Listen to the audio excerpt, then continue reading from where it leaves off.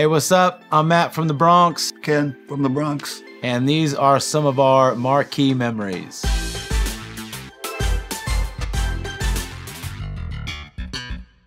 This marquee memory was my first ever punk rock show that I went to by myself. I actually had my mom drop me off, and it was at the Ice House in Fullerton. It was the Vandals, a band called HFL, another band called Glue Gun, and it very quickly escalated into a full scale riot. It just got completely out of control. There was a bunch of fights, security was getting beaten up. I was there completely overwhelmed by myself, a little bit scared, and, and loving every second of the craziness. The Vandals never even got to play. The fight got pushed outside. Cops showed up. At one point, a cop car got turned over, and I had to call my mom to come pick me up. I've always been drawn to the kind of craziness of punk rock shows. It's just something that we love the kind of rawness and unpredictability of the moment. Our fans are pretty cool. You know, there hasn't been any cop cars tipped over yet, but future is unwritten. So my uh, marquee memories is Monsters of Rock in 1988 at the LA Coliseum. I was put on by Van Halen, and it was Scorpions, Dokken, and Metallica and Kingdom Come. I just moved from Japan like a few months before. I was living in San Diego at the time, so me and a couple friends, two cars, drive up like at seven in the morning. Metallica comes on, plays like one note, one riff, and the whole stadium just erupts, goes crazy. Everyone just like climbs over the fence, pushing the fence down. Everyone's on the field. Metallica has to stop playing. Everyone on, in Metallica was like on stage saying, "Come on, come on!" You know, so everyone is just, you know, bulldozing down. Someone throws a fruit and hits him in the face like a peach. and two seconds later, a cop or a security guy comes and just tackles him.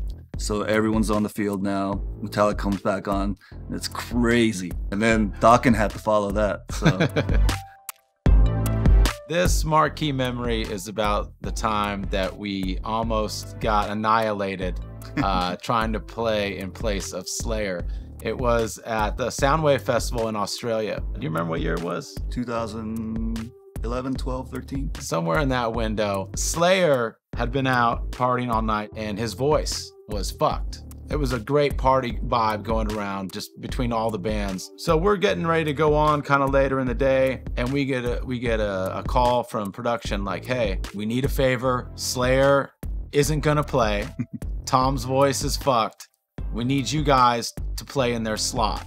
We've always been a band that's like, whatever, there's a challenge, let's get to it, you know? So we say yes, all, okay, cool. So they're like in the process of moving our gear over to the stage and they take us over to the stage.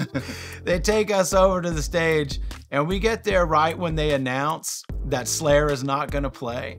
The whole place just starts booing and then that escalates into trash being thrown. They're trying and to- all of a sudden the whole stage is just covered in trash. Everyone's throwing beer. People are like screaming and it's getting super volatile real quick. And we're all looking at each other like oh shit you know? Like we're gonna go up there and we're gonna just get annihilated. But we were ready to do it.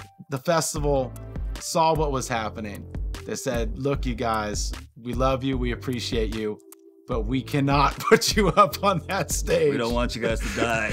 because we don't want to be liable for anything that the Slayer fans might do to you guys. I, I wish it would have happened. It would have been absolutely insane. But I probably wouldn't be here telling the story if it did happen.